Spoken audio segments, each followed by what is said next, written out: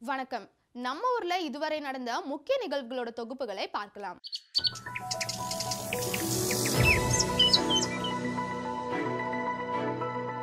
திருவள்ளூர் மாவட்டத்துல ஆயிரத்தி ஐநூறு தொழிற்சாலைகள்ல வெறும் நாற்பத்தி மூணு தொழிற்சாலைகள் மட்டும் சமூக பணி பங்களிப்பு நிதி கொடுக்கிறதாகவும் மீதமுள்ள நிறுவனங்கள் தாமாக முன் வந்து கொடுக்குமாறும் அமைச்சர் நாசர் வேண்டுகோள் வச்சிருக்கிறாரு. இதையடுத்து ஆவடியில் உள்ள கவர்மெண்ட் ஹாஸ்பிட்டலுக்கு பிரைவேட் கம்பெனி சார்பா சமூக பணி பங்களிப்பு நிதியிலிருந்து ஐம்பது லட்சம் மதிப்பிலான 20 என்எம் த்ரீ கொள்ளளவு கொண்ட புதிய ஆக்சிஜன் ஜெனரேட்டர் அமைச்சிருக்காங்க. பதினான்காவது நாளான இன்னைக்கு டி டுவெண்ட்டி த்ரீ புலியை பிடிக்கும் பணி நடந்துட்டு வர நிலையில வனப்பகுதியில செட் பண்ணி வச்சிருந்த ஆட்டோமேட்டிக் மானிட்டரிங் கேமராவில புலியோட நடமாட்டம் பதிவாயிருக்கு. இதை தொடர்ந்து வனத்துறையினர் மயக்கோசி செலுத்தி புலியை பிடிக்க ட்ரை பண்ணப்போ அந்த டி டுவெண்ட்டி த்ரீ புலி அடர்ந்த பொதருக்குள்ள மறைஞ்சதால மீண்டும் புலியை பிடிக்கும் பணி தீவிரப்படுத்தப்பட்டிருக்கு.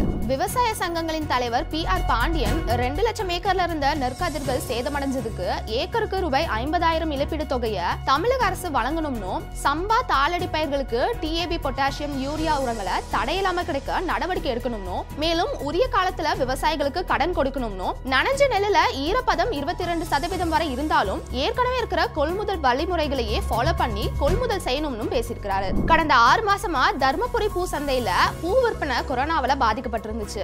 இந்த நிலையில ஆயுத பூஜை மற்றும் விஜயதசமியை முன்னிட்டு பூக்களோட விற்பனை சூடு பிடிக்க ஸ்டார்ட் ஆனனால விவசாயிகள் மகிழ்ச்சி ஆயிருக்காங்க. ஒவ்வொரு ரக பூக்களோட விலையும் நேத்தை விட இன்னைக்கு ரெண்டு மடங்கு அதிகமாயிருப்பது குறிப்பிடத்தக்கது. இலங்கை மற்றும் ராமேஸ்வரம் மீனவர்களுக்கிடையே எந்த ஒரு பிரச்சனையும் இல்லாம மீன் பிடிக்க ஒரு வழி செஞ்சு தரணும்னு ராமேஸ்வர மீனவர்கள் ஆர்ப்பாட்டத்தில் ஈடுபட்டிருக்காங்க. மேலும் இலங்கை கடற்படையால சேதமடைஞ்ச படகுகளுக்கு இழப்பீடு வழங்க வேண்டும்னு மீனவர்களுக்கு மானிய விலையில டீசல் கொடுக்கணும்னு பல கோரிக்கைகளை முன் வச்சு மத்திய மாநில அரசை கண்டிச்சு ராமேஸ்வரம் மீனவர்கள் ஆர்ப்பாட்டம் நடத்தியிருக்காங்க. கலைஞரின் வருமுன் காப்பம் திட்டம் கடந்த பத்து வருஷம் அரசியல் காழ்ப்புணர்ச்சி காரணமா நிறுத்தி வைக்கப்பட்டிருந்துச்சு. இப்போ மு க ஸ்டாலின் அவர்கள் திரும்பி ஆட்சிக்கு வந்ததுக்கு அப்புறம் அந்த திட்டத்தை கடந்த செப்டம்பர் பத்தொன்பதாம் தேதி துவக்கி வச்சிருக்காரு இதோட மக்களின் மருத்துவத்திற்கான பல வசதியான எக்யூப்மெண்ட்ஸ் கொண்டு வந்திருப்பதாகவும் மேலும் உள்ளாட்சி தேர்தலில் திமுகவிற்கே நூறு சதவீதம் வெற்றி வாய்ப்பு இருக்குன்னு முதலமைச்சர் மு க ஸ்டாலினை புகழ்ந்து பேசியிருக்கிறாரு ஊரக வளர்ச்சித்துறை அமைச்சர் பெரிய கருப்பன் சரஸ்வதி பூஜை ஆயுத பூஜையை முன்னிட்டு பொறி விலை கடந்த வருஷத்தை விட இந்த வருஷம் மூட்டைக்கு 75 ரூபாய் அதிகமா இருக்கு. இத பத்தி பொறி வியாபாரிகள் பேசினதுல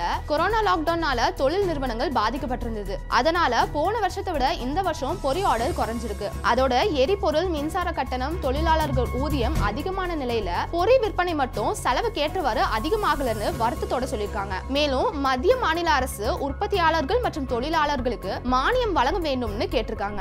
அரியலூர் மாவட்டத்தில் இருக்கிற அரசு நடுநிலைப்பள்ளி கட்டிடம் ஏற்கனவே மோசமா இருக்கிற நிலையில இப்போ தொடர்ந்து பெய்துட்டு வர மழையால எந்த நேரத்திலையும் இடிஞ்சு விழுற நிலைமையில இருக்கு. இதோட நீர் கசிவால பில்டிங்கோட மேல்தளம் செவர்களில் விரிசல்கள் ஏற்பட்டு கிளாஸ்குள்ள தண்ணி வந்து எல்லாரையும் அச்சுறுத்தும் வகையில இருக்கு. இது குறித்து மாவட்ட ஆட்சியரும் நிர்வாகமும் ஆய்வு செஞ்சு புது பில்டிங் அமைச்சு தரணும்னு அக்கிராம மக்கள் கோரிக்கை வச்சிருக்காங்க. இது மாதிரியான இன்னும் பல செய்திகளை தெரிந்து கொள்ள இணைந்திருங்கள் நியூஸ் டிஎனுடன்